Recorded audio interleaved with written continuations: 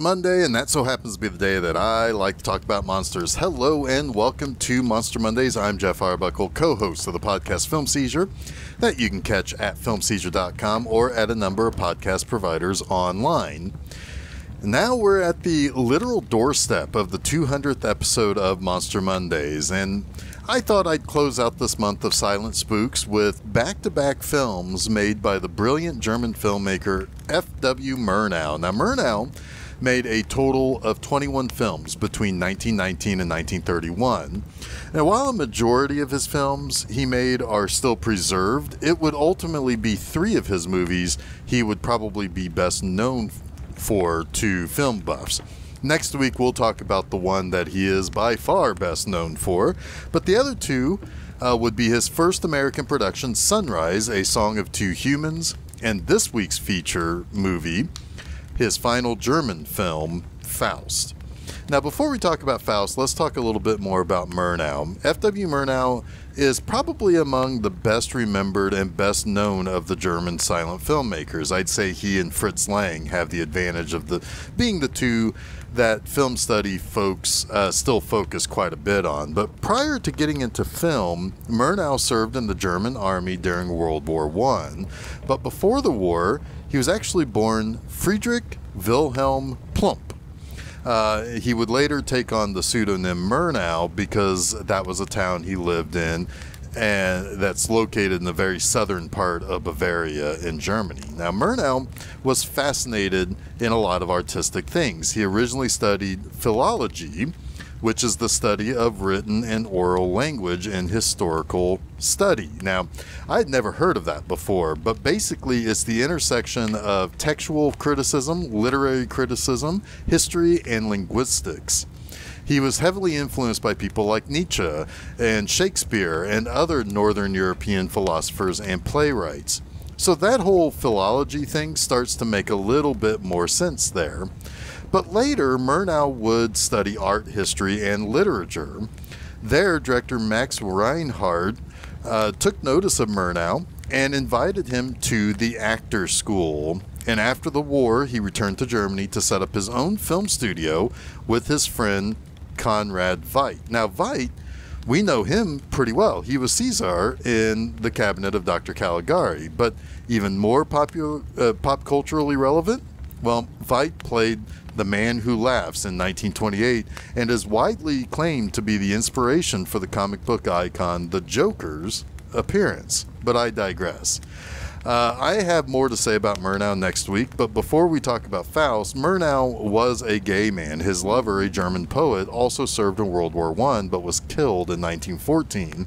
And this was said to have an incredible impact on Murnau, where he would use a lot of themes of incredible loss, sacrifice, and just the terrible violence of war in his films. It was uh, this man that Murnau was in love with that introduced him to Expressionism, which, of course, would be where he would dabble to great effect in his filmmaking career. As for the subject of this final German film for Murnau, let's talk about the classic German folktale of Faust. Now, interestingly, while I have a general concept that Faust deals with a version of Mephistopheles, uh, known in this movie as Mephisto, uh, there are two things that are most definitely tied to me on a personal level. First, Mephisto is the name borrowed from Faust for a popular demonic character in Marvel Comics. Second, every year for my birthday, my dad and I go to the restaurant in Indianapolis known as the Rathskeller. Uh, this is a fairly significant place in India as it served historically as kind of a central German club for the vast number of German folks who are descendant from settlers in the early days of this area. Uh, there are a ton of German clubs throughout the state of Indiana, but in the basement of the downtown Indy Club is this marvelous, authentic German restaurant that Dad and I go to each year. Inside, there are carvings of Faust and Mephisto uh, and quotes from the original work over this antique fireplace mantle. It's all in German, and it's been since high school, so, so, so many years ago, that I read and translated German, so I have no real idea what it is saying. Uh, but it's wonderful art and interesting expressionist depictions of these main characters. Now, Faust was originally written by Johann Wolfgang von Goethe. Now, in the early 19th century is when this was released. It's written in a sort of classic uh, tragedy style and presented in two parts. The first part was released in 1808, and the second in 1831 after Goethe had passed away. However, Faust was not something that Goethe just whipped up in the opening years of the 1800s. He'd actually been kicking the story around for at least 30 years before it finally got made.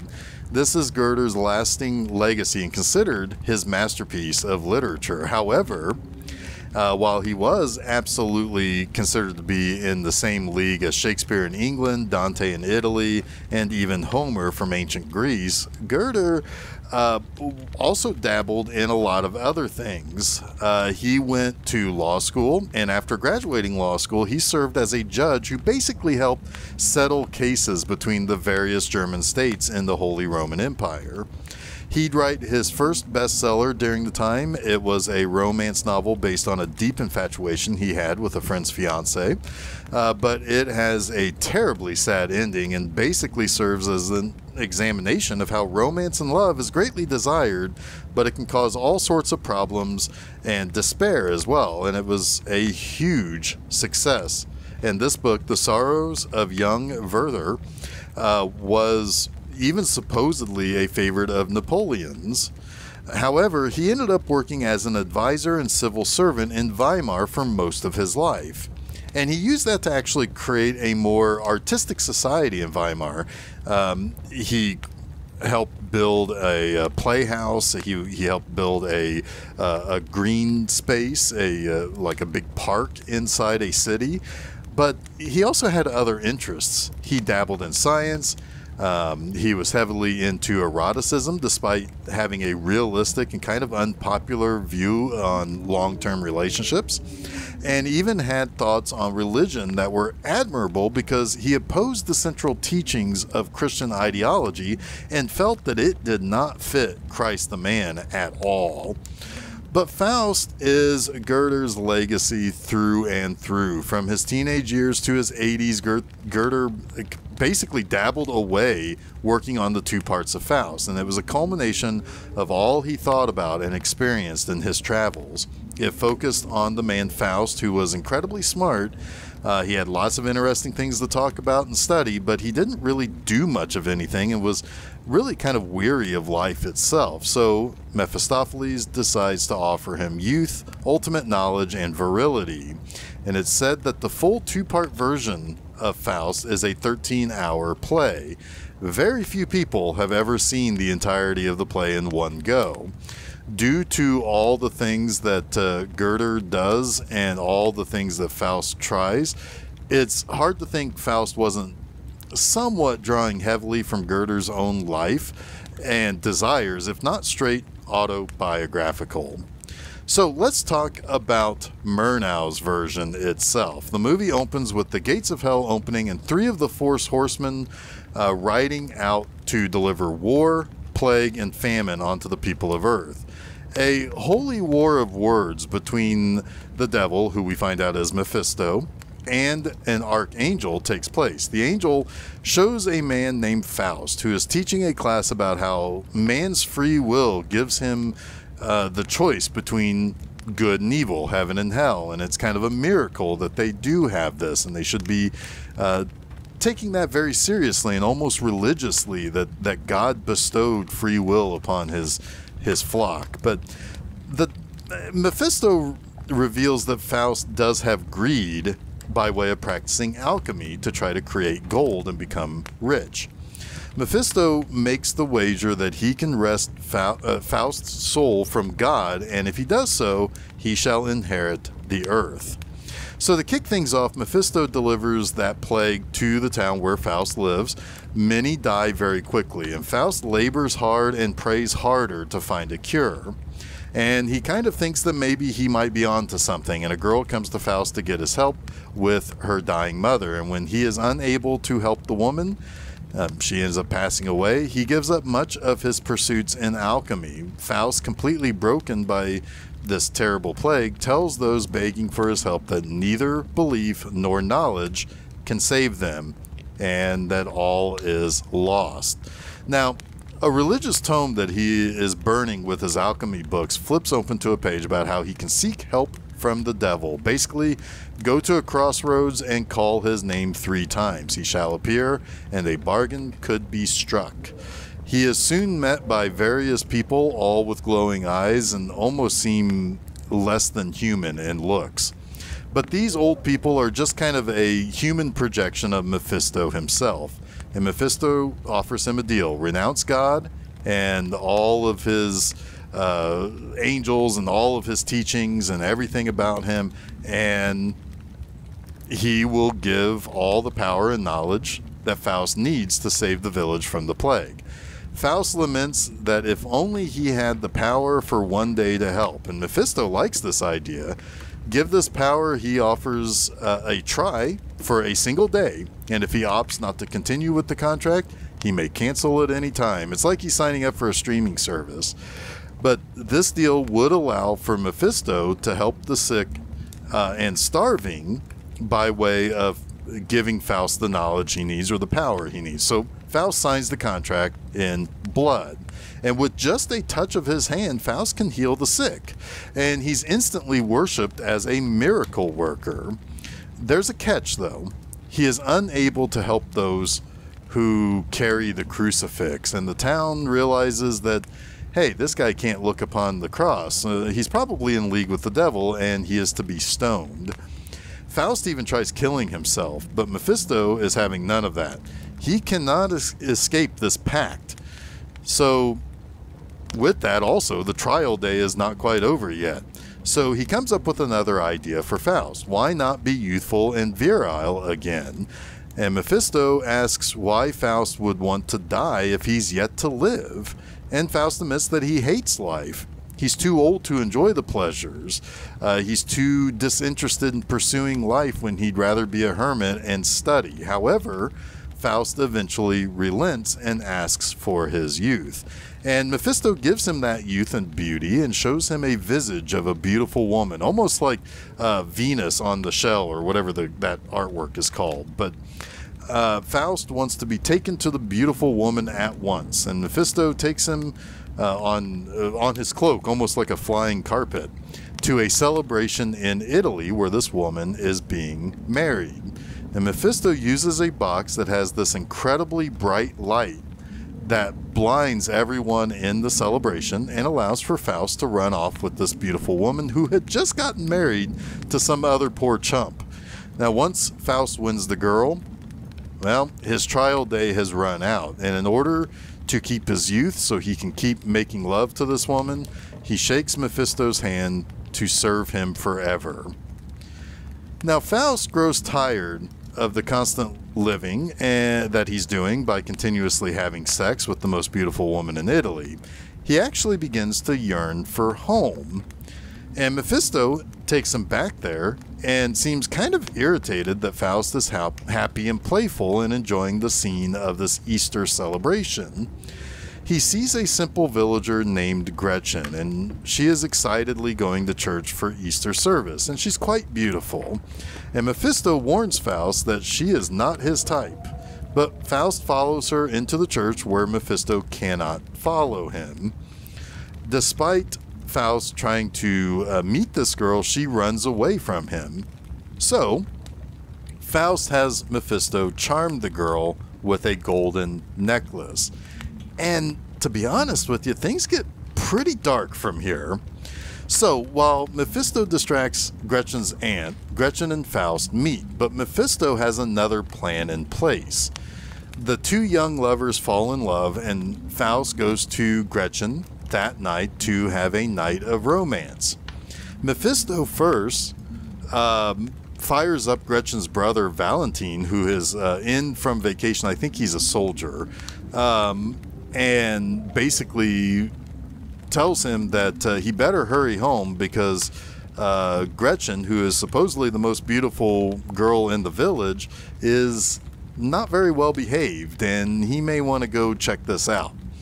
He also uh, stirs up a wind that blows into the house that causes Gretchen's mother to wake up, and she catches the two lovers in Gretchen's room and dies on the spot from shock. When uh, Valentine gets there, he challenges Faust to a duel, and they their sword fight kind of spills out onto the streets of the village, and Mephisto steps in and stabs Valentine in the back. And then he tells Faust that he killed him and he should probably run away. And with his dying breath, as the villagers collect around him after Mephisto himself cries out murder throughout the streets to get the attention put on this, Valentine condemns Faust for his death and basically exclaims that his sister is a harlot. And in fact, the translation calls her a whore. And part of his last request is that she's put in the stocks for what's been done to him. Faust and Mephisto end up flee, fleeing on a demonic steed. But it gets worse. Gretchen has a kid by Faust, and because she has no family, no husband, no job, whatever, she's left homeless.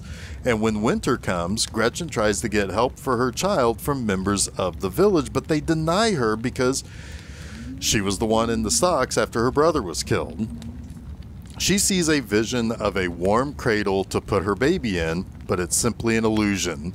The baby is left in the snow where it dies. She's found by the authorities and burned at the stake for murder. Faust realizes what's going on and tells Mephisto that uh, he wishes he never asked for his youth, and so therefore Mephisto is glad to uh, give him back his old age. And when he's reverted back to being an old man, um, he basically tries to get to Gretchen to save her. Um, but he's a little too late. The fire has already been started, and he kind of leaps into it and begs for her forgiveness. She recognizes him as his youthful self, and the two are burned together, and their spirits are reunited and claimed by the archangel, who tells Mephisto that he's lost the wager because true love has won. So let's get to the three things I like about this movie. First up, I love the look of Mephisto and the Archangel. They're both these winged creatures, and their wings are so intricate and just they look like what you would expect real angel wings to look like. They have feathers, they look like they're heavy.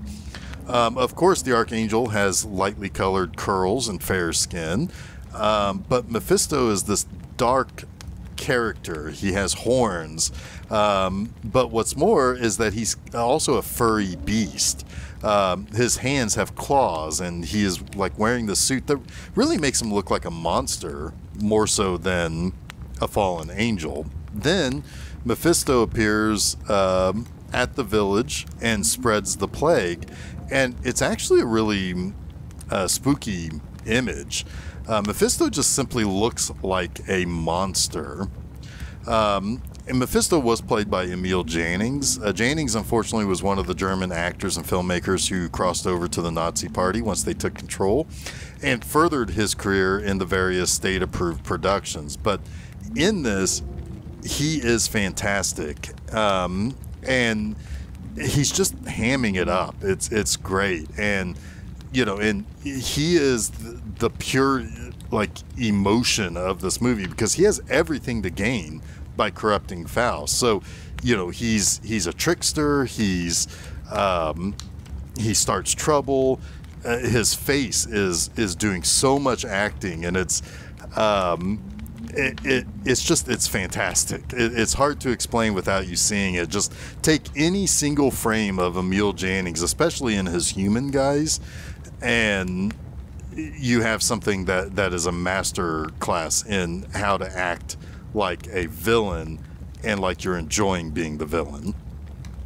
Now, when he takes on his human appearance, especially after giving Faust his youth, he actually looks more like Count Chocula than anything else, and it's pretty awesome. Um, it's just it's it's a great design and great makeup on that character. Now, second, much like the other silent films we watched this month, this movie is quite lush and very well designed. There's this great shot of that celebration in Italy when uh, Faust has been made young and he's going to be taken to the most beautiful woman in Italy by uh, Mephisto. And as they're kind of arriving, the camera is panning down what looks like several stories to see the various party goers in this lush, almost um, it's not a castle, but it's almost like a this grand ball uh, room or this grand mansion where everything is taking place and people are paying their respects to this woman and and everything and and it's it just looks like a really complicated and sophisticated shot uh, for a film to make in the 20s uh, with the technology avail- available at the time. You know, these days we think about crane shots and how common they are.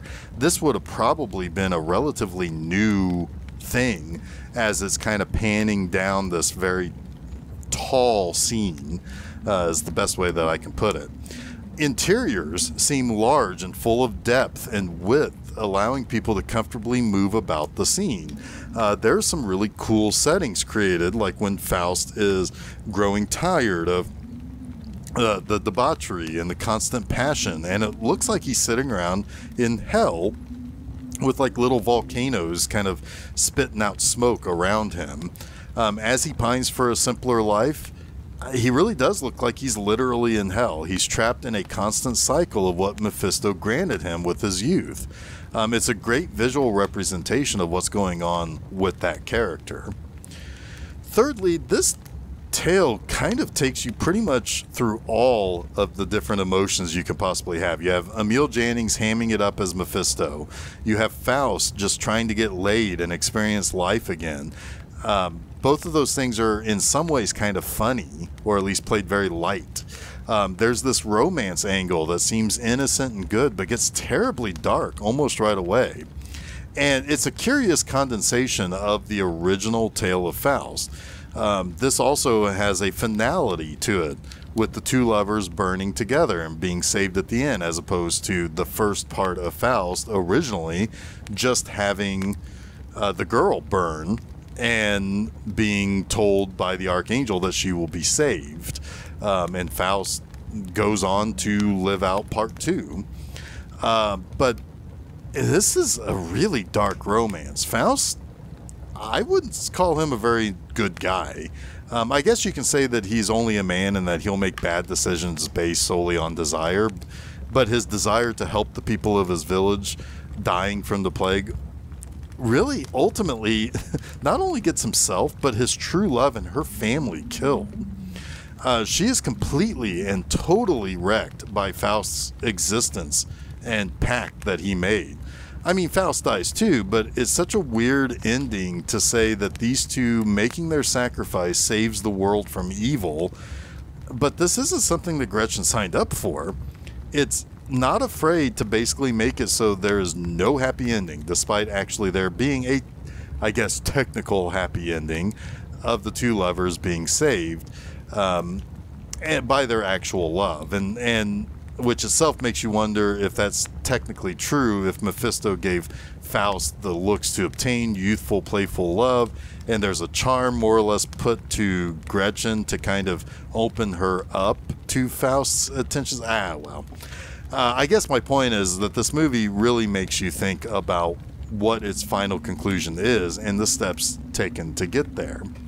I will say one other kind of interesting thing. Most of these movies that we watch that, that we talked about this month are all considered to be classics of cinema. Interestingly, uh, at the time that these were released, these movies weren't exceptionally well received. Um, in particular, Faust was a financial flop, and um, there was some critics that disliked the changes to the story and uh, some of the performances as well.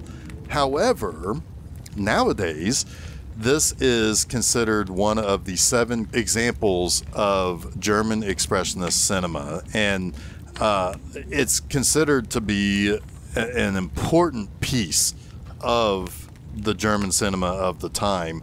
Um, and another one of those that belongs to Murnau is coming up next week. So um, we'll we'll talk about that there in just a second. But this wraps up this week's uh, Monster Mondays. If you uh, want, you can catch new episodes of Monster Mondays each Monday at filmseizure.com. You don't forget to follow Film Seizure at Facebook, Twitter, and Instagram, and subscribe to Film Seizure to get both the Wednesday Film Seizure podcast and Monster Mondays at your favorite podcast providers, as well as YouTube. You can also check out my website, bmovieanima.com, to read new articles every Friday morning. So let's talk about what's coming up next time. It's the 200th episode of Monster Mondays, and we're sticking with Murnau, and uh, it's time to talk about his masterpiece in horror, Nosferatu. So until next week, stay spooky.